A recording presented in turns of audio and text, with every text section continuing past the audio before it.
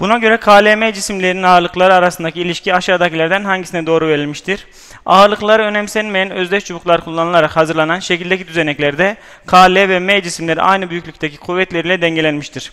Bir kaldıraç sorusuyla karşı karşıyayız arkadaşlar. Burada kuvvet çarpı kuvvet kolu eşittir yük çarpı yük kolu denkliğini kullanacağız. Birinci düzenek için K çarpı 1 metre eşit olmak zorunda. F çarpı 3 metre. Metreleri götürdüğüm zaman K eşittir 3F. Sonucuna ulaşırız. İkinci düzenek için aynısını kullandığımızda L çarpı 4 metre eşit olmak zorunda F çarpı 2 metre. Bunlar sadeleştiği zaman 2L eşittir F olarak karşımıza çıkmakta. L eşittir F bölü 2. Üçüncü düzenek için aynısını kullandığımızda M çarpı 1 eşit olmak zorunda F çarpı 4 metre. Metrelerimizi sadeleştiriyoruz.